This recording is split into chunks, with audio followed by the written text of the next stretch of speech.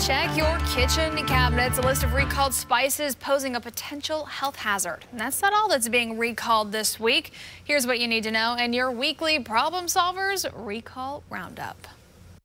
Sauer Brands is voluntarily recalling more than two dozen spices and spice blends from its The Spice Hunter products. The reason? The potential presence of salmonella. We're putting the full list and lot numbers with this story on our website. Among the products involved, organic parsley, dillweed, and cilantro. Red Monkey Foods is voluntarily recalling select organic parsley products because a sample tested lot from its supplier, HQO, tested positive for salmonella. That lot was repacked by Red Monkey into both parsley and Herbes de Provence products. Check the link with this story for lot numbers. And Westinghouse Lighting is recalling its Great Falls outdoor ceiling fan model with 52 inch blades.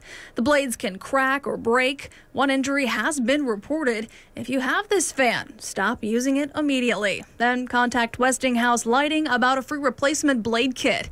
These were sold between October of 2019 and August 2020 by Home Depot, Amazon, Wayfair, and independent distributors.